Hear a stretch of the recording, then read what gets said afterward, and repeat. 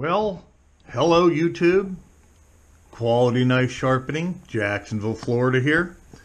And I just wanted to show you, if you were curious. Here is the Lightning Elite. Lightning Elite. And, I mean, this thing, you can't beat it for the price. Uh, absolutely no brainer. OTF, the snappiest $30, $35 knife you'll ever buy when it comes to budget. Well, they came out with the Lightning Fireball. Here is the Lightning Fireball. It's much smaller than the Lightning Elite. As you can see, there's the there's the handle comparatively. I just took it apart and let me tell you something. It is identical, just miniaturized. The difference between the Lightning Elite and the Lightning is the Lightning Elite doesn't make a bunch of dang sounds, twangy sounds.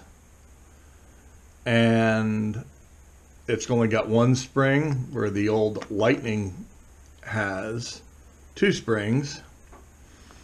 And the interior is painted. And I believe that even on this Lightning Fireball, the coating, paint, whatever you want to call it, is a little nicer than your Lightnings. So what I actually did is because the blade was so small, and you can see it's got a polished edge.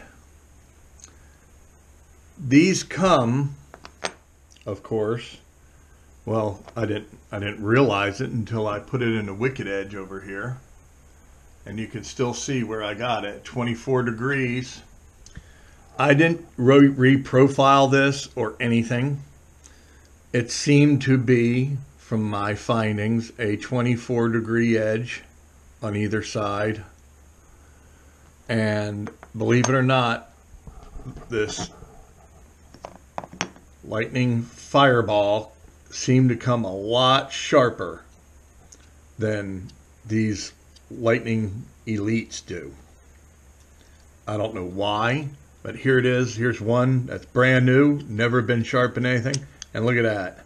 I mean, it's there, there's no edge on that. So you, you got to sharpen them. Now, that's the blade. I took it out because the way it was sitting in there, I could not get all the way back to the beginning of the edge. And this thing is really sharp now. It's still 24 degrees. I just polished and kind of cleaned it up. So I'm going to put this back together and I'll show you. Everything's identical to that except miniaturized. But let me tell you, the size of this, they done hit it out of the park. This little knife is so bad to the bone. I don't know if this is California legal blade. Uh, might be. I don't care about California. It can sink into the Pacific Ocean as far as I'm concerned. Sorry, Californians. With all your unbelievable rules and regulations out there by all the libtards. But I'm going to put it back together here and I'm going to show you against it. These two just as a comparison, but I took it I took the blade out just so I could sharpen it easier. And this is going to be I got two of them, one's like a truck knife, one's like a desk knife. I don't really need to carry these because of the fact that I've got a Guardian Tactical uh, GTX 25, so I got these just for fun.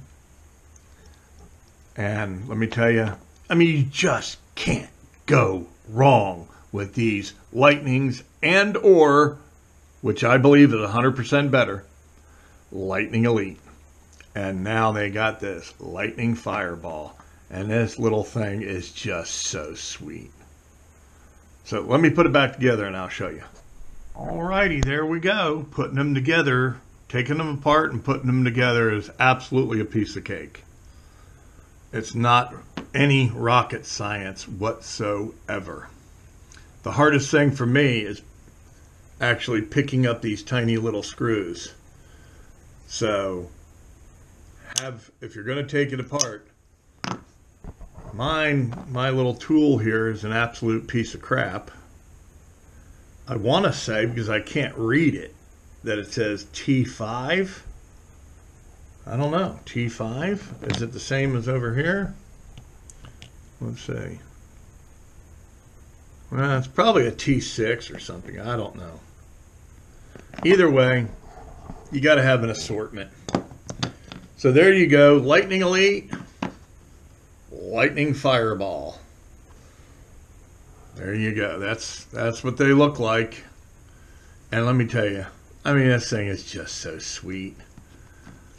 And just as snappy as hell. Lots of good tension, even though that that spring in there is pretty, pretty small. But boy, what tension the blade has. I'd say it's got more tension than the big boy. So I got mine at Grindworks, just like everybody else. But I am just shocked at how sweet that little thing is. No, you're not going out and gutting no damn deer with it. You ain't doing that with any of these. So, yeah, I don't know why anybody has to complain about the steel or anything. It sharpens up, believe me. The problem is you've got to know how to sharpen. And you want to know your angle degree for sure. These always seem to be about 21 and a half. I'm just kind of going off the top of my head here when they come out of the package. And this one here really seemed to be very a solid 24. So they cut, they do what they need to do, and they're only like 30, 35 bucks, 25 bucks or something. I mean, it was just cheap.